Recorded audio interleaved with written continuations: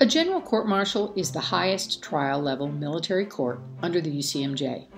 From the outside, a court martial appears similar to a civilian trial. There's a judge, a prosecutor, and a defense attorney.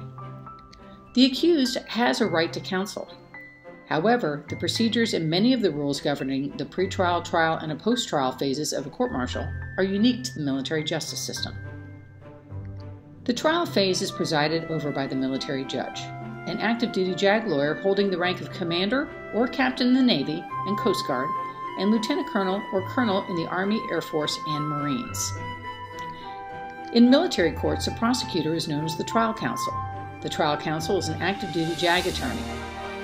Most trial counsel hold the rank of lieutenant or lieutenant commander in the Navy or captain or major in the Army, Air Force, and Marines. The military judge almost always outranks both the trial counsel and the active duty military defense counsel. The defense counsel at court martial is either a JAG attorney detailed to the accused or a private lawyer hired by the accused. The accused has the right to counsel of his or her choice. The most important decision an accused soldier, sailor, airman, or Marine must make is whether to accept their detailed military criminal defense attorney or to hire a civilian military lawyer. The accused service member has the right to be represented by an active duty JAG attorney. The JAG attorney serves in a capacity similar to a public defender. However, most active duty defense counsel are less experienced. When an accused hires a civilian military lawyer, the JAG attorney will act as an assistant defense counsel. This is an important decision. Do you go with your detailed military counsel or do you hire a private attorney? Under the UCMJ, the jury is known as the panel members.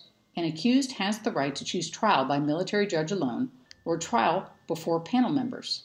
At a general court martial, the panel consists of a minimum of five officers. If the accused is an enlisted member, then he or she may choose to have a panel consisting of at least one third enlisted members. Instead of being selected at random, as in civilian trial courts, the panel members are chosen by an admiral or general officer. Under the UCMJ, this high ranking officer serves as the convening authority. The convening authority convenes the court martial, selects the panel members, and approves or disapproves the findings and sentence. The UCMJ created a separate justice system with unique rules governing the investigation, charging, and trial of military crimes. The UCMJ also created a separate criminal appellate system resulting in unique military law. Each military service has its own court of criminal appeals. The Army, for example, has the Army Court of Criminal Appeals, run by Army lawyers. The Navy and Marine Corps have the Navy Marine Corps Court of Criminal Appeals, run by Navy and Marine lawyers. And the Air Force has the Air Force Court of Criminal Appeals, run by Air Force JAG. The highest military appellate court is the Court of Appeals for the Armed Forces. Having a military lawyer with experience in military appellate law can give you an added advantage at trial. Each military crime carries with it a maximum potential sentence. Some sex offenses also carry mandatory minimum sentences. A court martial sentence may include confinement, a punitive discharge, forfeiture of pay and allowances, a loss of rank, and a fine. At general court martial, there are three types of military discharges which may be part of a sentence. For enlisted members, the two types of punitive discharge are dishonorable discharge and bad conduct discharge.